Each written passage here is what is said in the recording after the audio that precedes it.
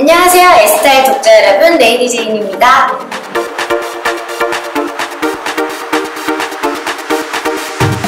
굉장히 좀 제가 평소에 여러분께 보여드리던 그런 발랄하고 귀여운 모습과는 달리 섹시하고 여성미 넘치는 모습을 보여드려야 해서 부담감도 있었는데 개인적으로는 굉장히 좀 재밌고 어, 신선했던 경험이었습니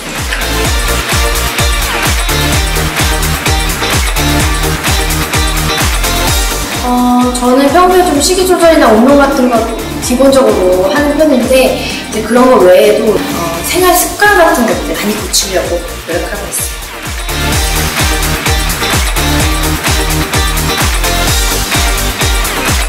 네, 앞으로 계속해서 방송에서 여러분께 좋은 모습 많이 보여드리려고 노력할 거고요.